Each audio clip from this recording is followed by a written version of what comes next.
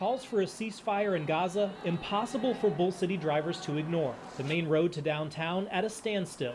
As traffic mounted, police eventually able to negotiate an end to the protest. No one was arrested on scene, a decision that was controversial. Obviously, there was some pressure directed toward the uh, police uh, to uh, arrest someone. A decision was, obviously made uh, that uh, there needed to be some uh, prosecution for this. It wasn't until two days later that the warrants were announced for four of the protesters. NCCU law professor Irv Joyner says the potential charges for impeding traffic are considered misdemeanors, which is why he expected the protesters would likely turn themselves in. And that's exactly what happened. Three of the four women from Durham, Olivia Lynn, Leah Whitehead, and Janae Taylor, turning themselves in. Joyner says if they are first time offenders, they'll likely face a fine. He also says free speech won't help their case since highways aren't considered a public forum. Uh, So that's not protected by the First Amendment.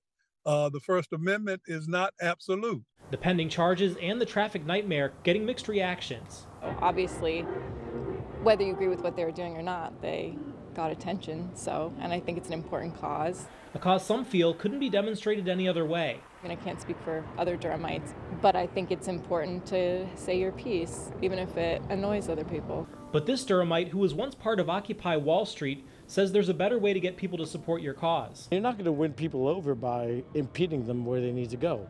My honest opinion, as a protester, as an occupier, as an activist, yes, they should be charged because any other average person would be charged, and you're no special, you're no different. But regardless of the consequences or what others might think, the Triangle chapter of Jewish Voice for Peace, which organized the protest, telling us it was all worth it.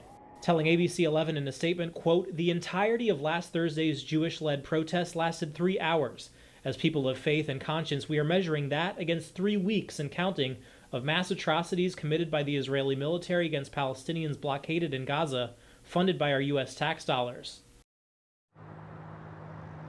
Now, we do know that the three women who turned themselves in were also immediately released uh, as long as they promised to appear in court. We do know that that uh, fourth uh, warrant that was issued for Fatima Noor, she is also from Durham. So far, uh, she has not turned herself in. Now, um, no word on any other possible charges other than uh, those four that we heard from before, but obviously a lot more than four were out here uh, as part of that protest. Unclear if any additional charges will be announced. Reporting live in Durham, Tom George, ABC 11. Eyewitness News. Yeah, I know it's certainly snarled traffic there on Thursday. A lot of upset drivers uh, just trying to get to where they need to be. Tom, again, thank you for your reporting.